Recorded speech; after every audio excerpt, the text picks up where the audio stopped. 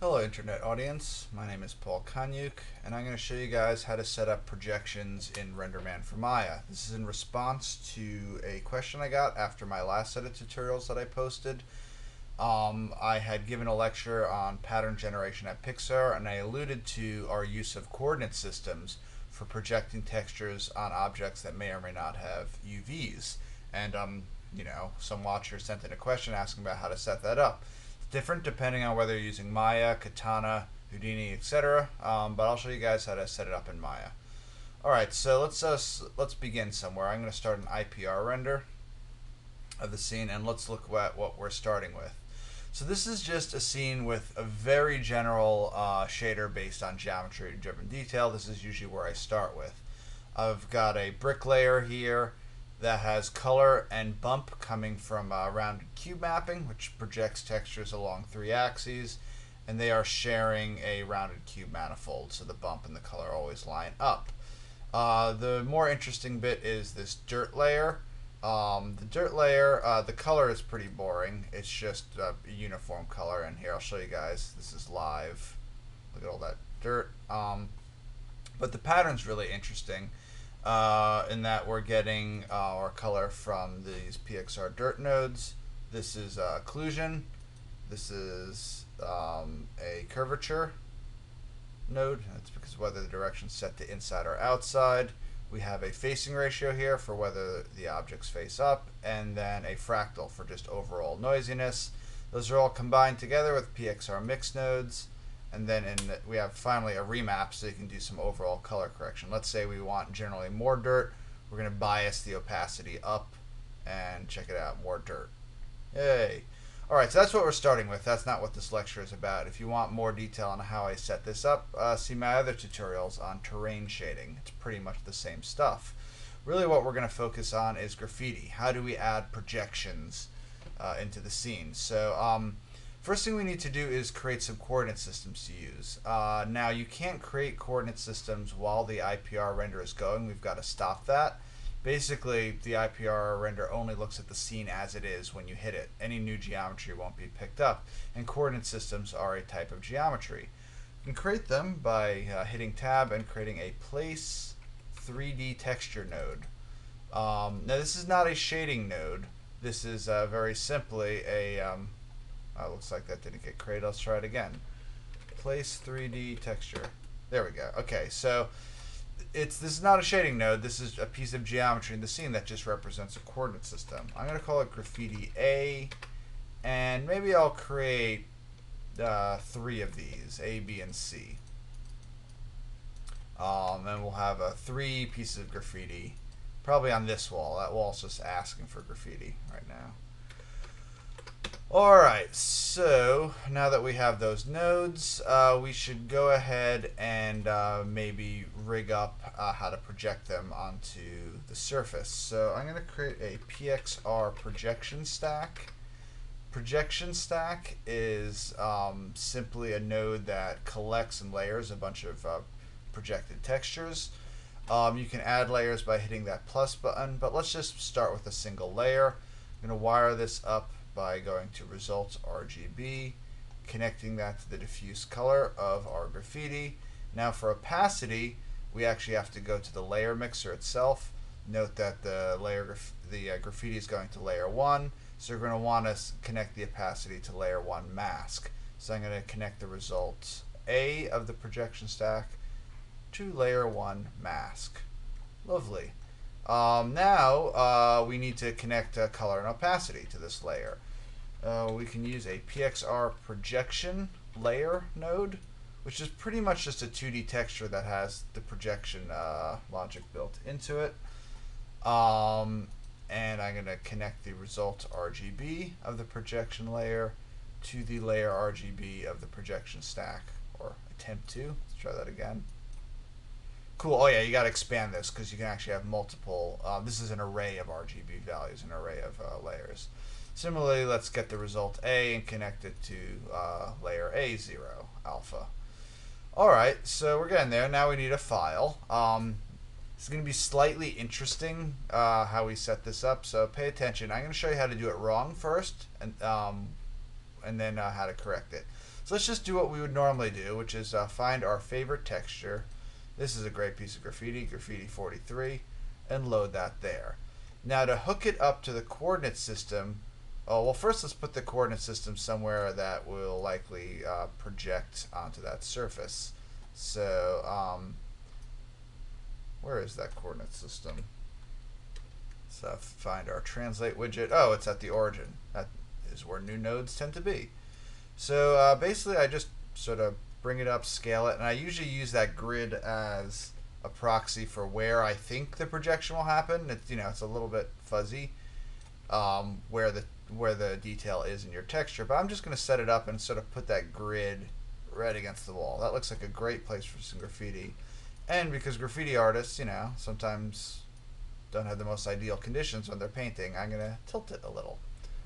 Uh, a little bit of nuance there. Okay, so that's graffiti A. How do we connect graffiti A up to that projection layer?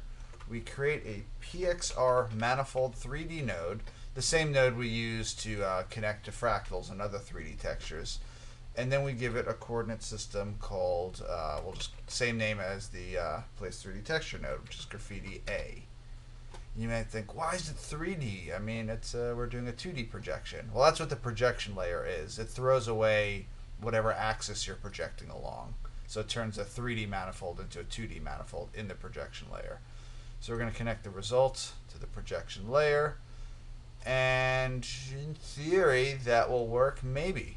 Uh, let's go ahead and make sure that our layer 1 is enabled. It, it uh, it's our dirt uh, layer 1. Aha! Make sure to enable your layer. And now let's do a IPR render and see what we've done. Oh my goodness, we got graffiti everywhere. I mean, that's kind of cool, but that's not what we want. So this is what I meant when I said that I was going to uh, show you how to do it wrong first before how to do it right.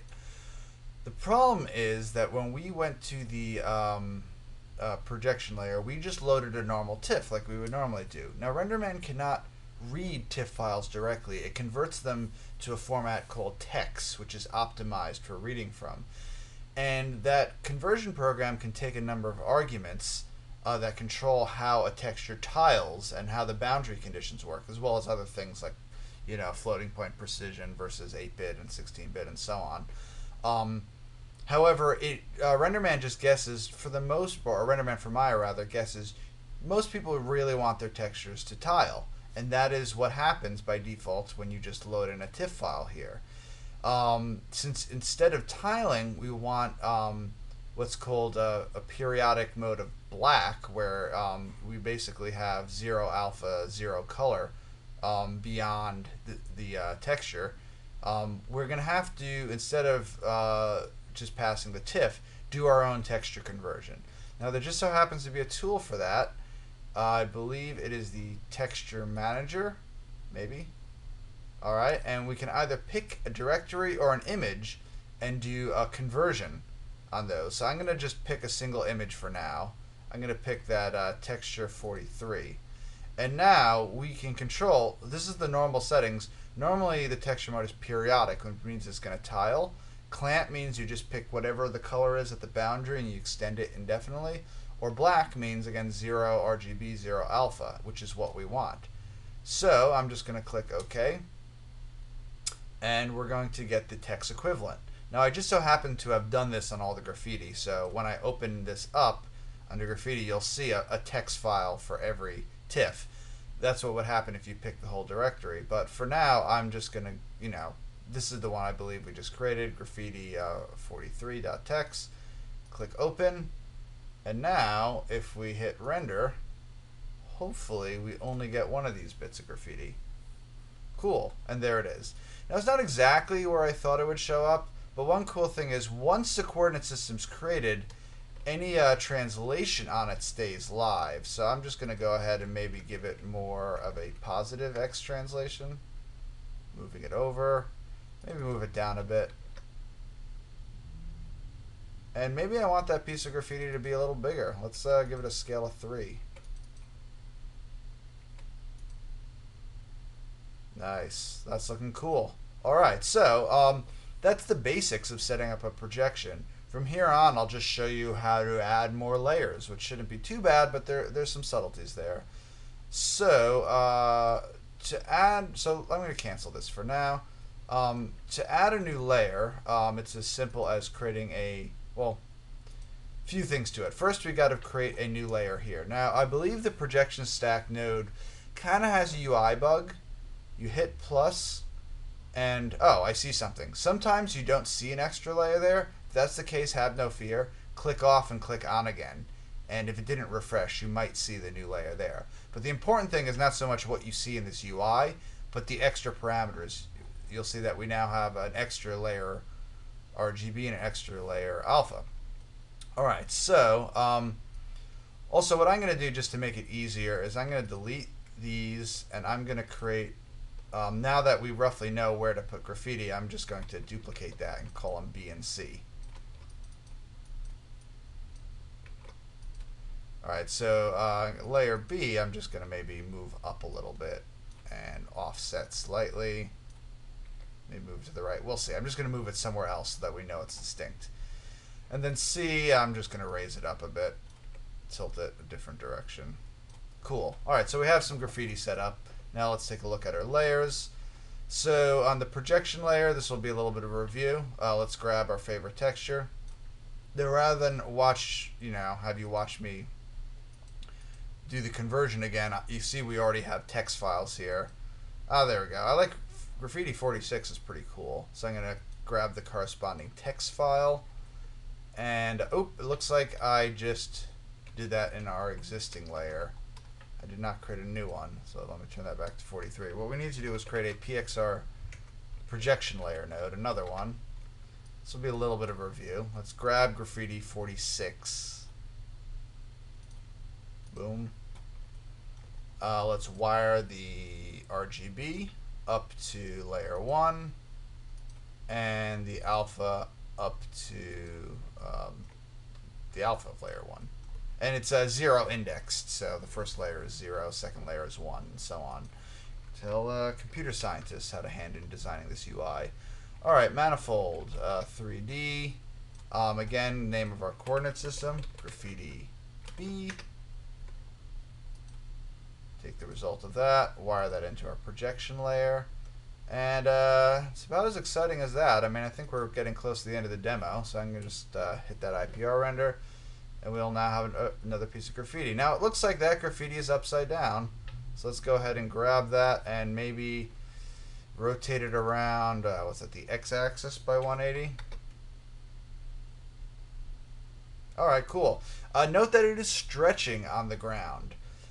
Um, one could potentially consider that a feature because you know we don't want the projection to clip along the ground so a stretch in a way is less you know gives you a heads up that your projection's misaligned but let's say you just want to get rid of the stretching you could simply use a facing ratio uh, against the direction you're projecting along and multiply the alpha with that so you, you can fix the stretching but in general that indicates there's a there's a misalignment anyway so I'll leave that. I'm just nudging this to the right. And you can see that the layer order makes a difference. That piece of graffiti is on top of this piece of graffiti. Let me it a little left just to make that obvious. And so on. So that's pretty much how to set up um, uh, projections using coordinate systems. And again, this had nothing to do with the UVs of the object. Basically, just had to do where these projections are.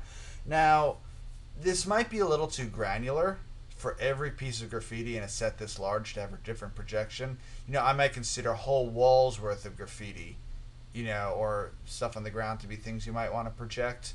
Um, because there is a cost to doing this. Every one of those projection layers, another texture you're reading. Um, the renderer is usually pretty quick with this kind of thing, so you you can use quite a few. But just remember, there's a cost. So, you know, three to four, ten projections might be cool. But if you start using hundreds of projections, you're you might want to think about uh, having fewer of them in larger textures potentially.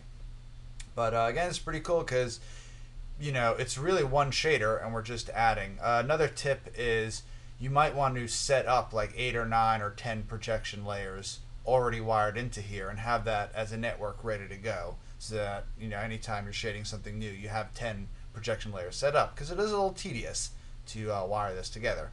Anyway, uh, that's a little tip um, on how to do this. At some point, maybe I'll try to show you guys how to do this in RenderMan for Katana because really you can do this in many packages, um, not just Maya. But anyway, uh, that's all for now. Thanks so much. Bye.